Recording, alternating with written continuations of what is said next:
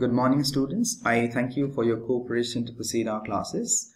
Uh, with your kind cooperation we have completed many chapters and during our previous class we already completed a chapter that is the adventures of Toto and uh, today morning you already attended the examination for that and I'm happy that majority of the students attended the examination and uh, today I came up with another topic this is a poem from uh, your Beehive book the name of the poem you can see on the screen wind. And today is day one. You can see on the screen class 9 wind day 1 may 28 2020 thursday. That's today right?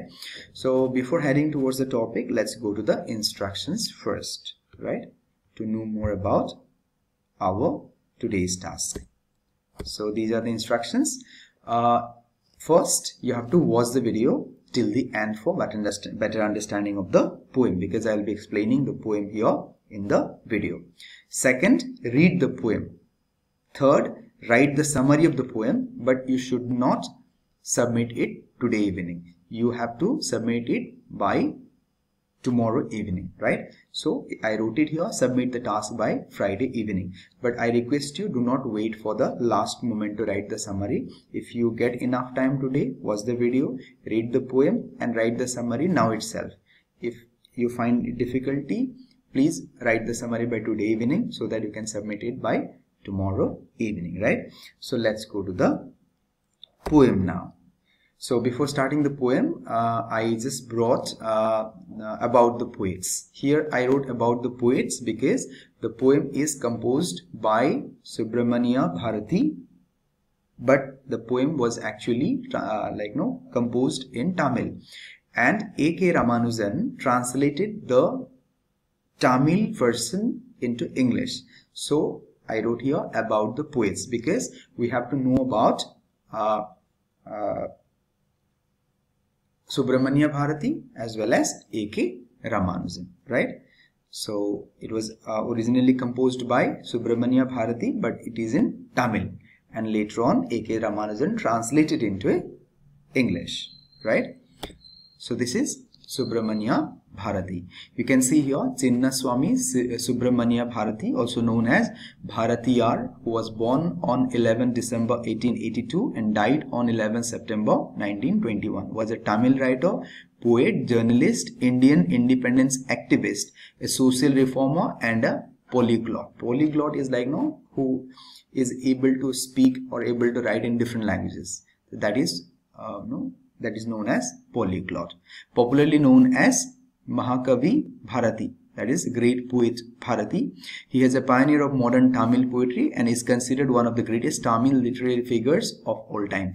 See, he is very much famous in Tamil literature, right? Let's, uh, you can just uh, read it uh, till the end for better understanding about Subramania Bharati. Pause the video, please go through it. Then we'll go to the next poet, Attipate Krishnaswamy Ramanujan uh, popularly known as uh, A.K. Ramanujan, uh, who was born on 16 March 1929 and died on 13 July 1993. Popularly known as A.K. Ramanujan was an Indian poet and scholar of Indian literature who wrote in both English and Kannada. Ramanujan was a poet, scholar, professor, a uh, philologist, folklorist, translator and playwright. As I already told you that he translated this poem from Tamil to uh, English right? So here he wrote here no he had the uh, ability to write in different languages like English Kannada Tamil Telugu and Sanskrit. He was very well versed in different languages right? So it is all about A.K. Ramanujan. You can just have a, a look of uh, the you know, uh, poet uh, pausing the video right I'll not uh, keep on reading all the things because uh, the video will become longer and that will create a problem. So we have uh, introduction of the poem. Actually, here is the introduction. What is the base of the poem?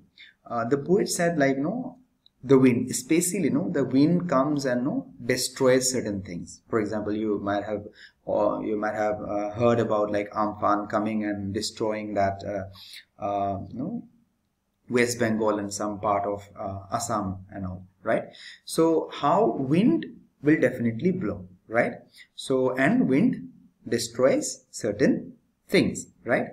and the poet said first the poet asked the wind not to blow terribly and blow gently the wind. He requested and later on he thought he found that the wind uh, never listens to us. So wind uh, will definitely blow uh, at his own uh, speed. So the poet said later on that uh, we should not like no talk to the wind directly. Rather we should build strong homes so that the wind cannot disturb us. Right? So that is what the base of the poem uh, actually uh, here through the poem the poet wanted to tell us certain things like no we should be very strong enough. Actually this wind is compared to the adversities the problems and setbacks right?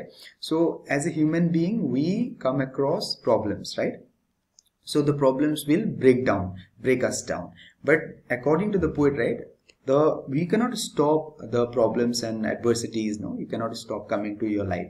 But the poet said right uh, be strong to face all the adversities of life. Like the same way the poet told the wind uh, that uh, first requested the wind to stop but later on when uh, poet realized that the wind will never stop it and stop and then the poet said instead of uh, requesting the wind to stop better uh, start building strong homes so that the wind will not disturb us. So that is the base of the poem. Adversities difficult will difficulties will come to our lives but you should be very much strong enough to uh, face the difficulties. So that is the base of the poem. Let's uh, know the poem in detail. So poem and explanation. So this is the poem in red uh, that one. That is the poem and black is the explanation right? So wind comes softly don't break the shutters and the windows don't scatter the papers don't throw down the books on the shelf. There uh, there look what you did you threw them all down. Actually uh, here in the first uh, paragraph the poet was like you know uh, requesting the wind to uh, you know come softly and the wind destroyed a lot of things. That is also is highlighted here. First uh, the poet requested the wind to come very softly right? So that is what about the first paragraph. You bought rain again right now whenever wind blows what happens? The it uh, uh, it um, starts raining uh, so these things right like uh, these days that because of Amphan Guwahati is also like no? In Guwahati uh, it's like continuously it has been raining for many days. So so that is what about the first paragraph uh, requested the wind to come softly because the wind destroyed a lot of things right? So let's go to the second this one. Framed crumbling houses crumbling doors crumbling rafters. See when the wind came it destroyed the uh, like no uh, it destroyed certain things like you no crumbling houses means the houses which are not strong enough the doors which are not strong enough the wind destroyed everything. Crumbling wood crumbling bodies you might have seen on the road like no uh, many trees fell down on the road. So crumbling hearts now here see. Like you no some certain people also died because of the wind people die definitely because of wind wind will definitely wind comes and no breaks down the trees and all the trees fall on human bodies or like no on the houses and all and finally people die so that is what uh, the wind uh, did and according to the poet like no wind came and destroyed a lot of things the wind god winnows and crushes them all. See, this, this is very important line. So I just separated the line from the poem. Uh, the wind god winnows and crushes them all. Wind definitely wind will come and definitely wind will crush everything that are weak. Now see, here you will understand. He won't do what you will tell him. See here, if you request the wind, it doesn't mean that wind will stop right? If you say oh wind don't break my house. If your house is not uh, strong enough do you think the wind will stop and your house will not be broken? It will never happen. So come let's build strong homes. Now here the poet quite differently said right now the wind will not listen to you if you request the wind to come softly. Rather start building strong houses. Actually here the poet wanted to say that uh, wind will definitely come. Like the same way adversities difficulties will definitely come to our lives. But we must be strong enough to face the difficulties. For example if you if we are weak definitely what happens? The wind will attack us. For example that coronavirus. Even the government is uh, continuously you know spreading a message like you know if your immunity is, is strong definitely this virus cannot do anything to you. So that immunity is what? Your strength. So if you are strong enough the adversities will not will never uh, uh, will will not be able to destroy you or kill you or uh, like no create problem in your life if you are strong enough. So he said the poet said right uh, instead of asking the wind to stop um, uh, no, stop or blow uh, lightly or slowly uh, rather you just start building strong homes and you should be strong enough to face the adversities of life. Because if you say that oh difficulty don't come do you think the difficulty will not come? Difficulty will definitely come. So what should we do? We should be strong enough to face the difficulties right? So this is what the uh, last slide. Again the wind blows out weak fires. He makes strong fires roar and flourish uh, his friendship is good. We praise him every day. See here uh, weak if the fire is weak when the wind comes what happens? It blows off right? When the fire is strong what happens? It spreads right? So that's why in the end the poet said like no his friendship is good. Wind's friendship is good and we must praise the wind every day. Like you know certain uh, problems for example problems and setbacks they are very strong enough.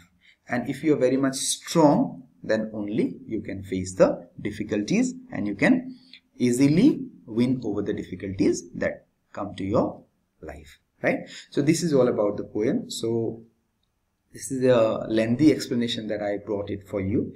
So I request you please after watching the video go again to the starting and pause the videos and please read this explanation that is given just below the uh, the extracts that's below the uh, extracts of the poems. Because I collected if you see here here this is the poem. This first is the poem. This is the poem right so here I gave the explanation. So I kindly request you pause the video and read it. I, I try to tell you the entire things but even then if you read it you'll understand it in a better way right? So these are the again this uh, the the red these are the, these are these lines are from the collected from the poems poem and this is the explanation. So please pause the video and read it properly right?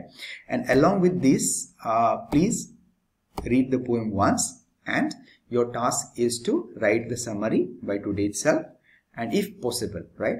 Uh, if you if you do not uh, get enough time to write the summary now please watch the video two three times and read the poem once. And you know by today evening as a homework you can write the summary or by tomorrow evening you can uh, write the summary and submit me because I told you that you have to submit the summary by tomorrow evening right? Hope that you understood the poem. And if you uh, face any difficulty in understanding you may you can directly contact me right? I'm always uh, online to help you out right?